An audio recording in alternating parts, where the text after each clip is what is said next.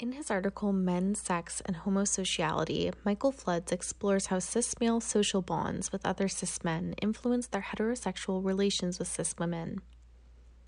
Masculinity in this context exists as a sliding scale. As Flood describes it, men's practice of gender has been theorized as homosocial enactment, in which the performance of manhood is in front of and granted by other men. For some, sexual activity can exist as a competition to achieve higher masculine status or as a form of bonding with other men. Men, Sex, and Homosociality analyzes interviews from a group of young heterosexual cis men aged 18 to 26 in Canberra, Australia. While the results of Flood's research and his theories on how heterosexual cis men organize their social relationships do not by any means apply broadly to all young men, he calls attention to certain groups where this appears more prevalently, one of which being university athletes. While sexual assault is highly underreported, a 2015 study published in the Journal of Adolescent Health reported that cis women attending college or university are five times more likely to experience sexual assault than women in the general population.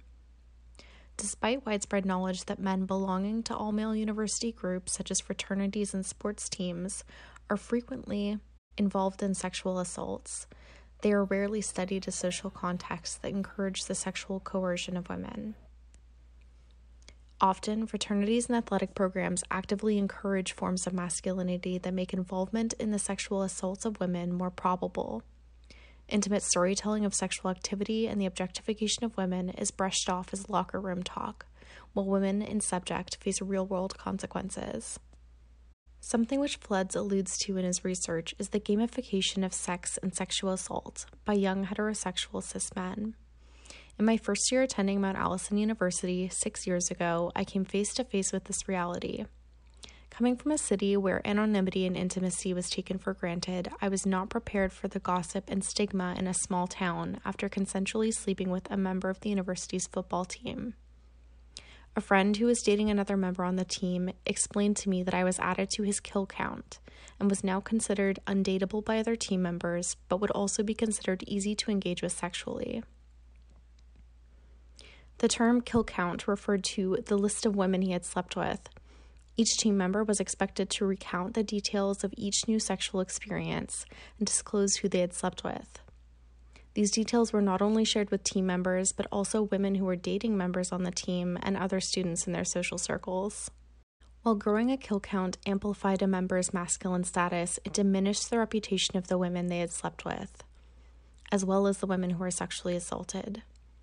The stigma of being easy or used in the small university community of 2,000, a population barely larger than that of the high school I attended, stuck to women like glue, and in many cases further victimized them. In her 2016 article, The Rape Prone Culture of Academic Contexts, Patricia Martin states that academic institutions often turned a blind eye to cis men's sexual assaults of women. She suggests that because of conflicting interests, their dedication to women's safety is constrained. Colleges and universities strive to please many external audiences alumni, funders, sports enthusiasts, the community, and the media, to name a few. Sports enthusiasts may be more interested in winning competitions than in seeking justice for an athlete's wrongdoing. Funders are not shy about promoting their agendas and may withdraw contributions if a star athlete is sidelined. Alumni who believe that boys have a right to be boys may pressure a president to hold back on punishing an accused athlete or fraternity member. The gamification of sexual activity amongst young heterosexual cis men in all male university groups and the system that protects them puts student populations at risk. There's a deep need for further examination into the social contexts in university communities which encourage the objectification and sexual assault of female peers.